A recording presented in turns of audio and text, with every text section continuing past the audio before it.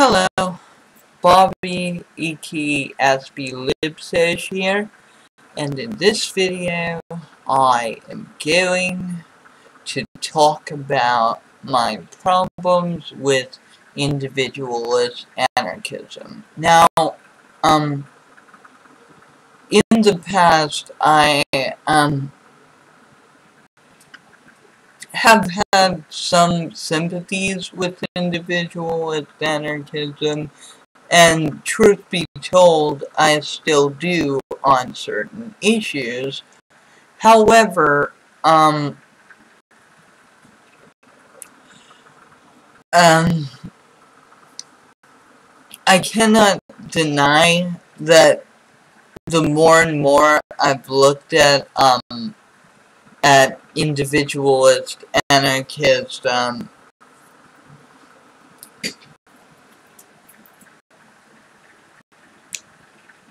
kids, um, forums and message boards and websites. I've, I've found, um, that their ideologies, um, that their ideologies um, tend to tend to benefit the elite under the um, under the pretense of critiquing the elites. And when they do critique the elites, it's often in a very narrow and um, unobtrusive sense to the to the elite's profit-making and monopolistic goals.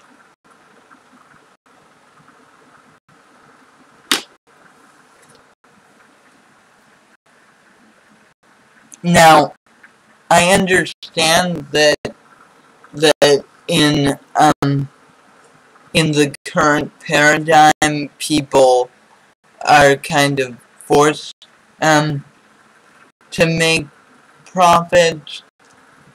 I get that. However, the um like the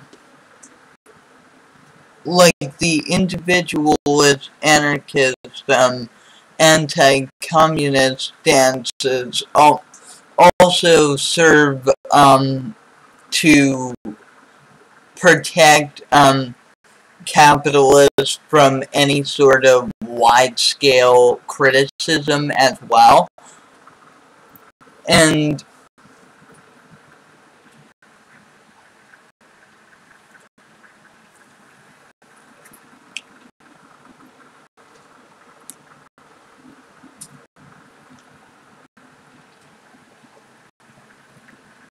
and boiling everything down to um to individuals also very much plays into the capitalist strategy of divide and conquer.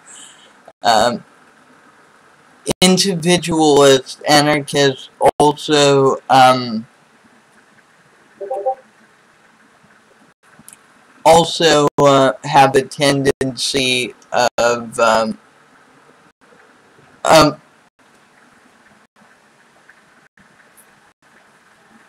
of reacting um, of reacting mockingly towards um, social conservatives and and neoliberals, yet um, yet at the same time reflecting many of the same biases and cultural misconceptions and um, and many of the same like pro-western ideals as well. This has been Bobby, aka SB Lib Social Liberty Equality Fraternity. Goodbye.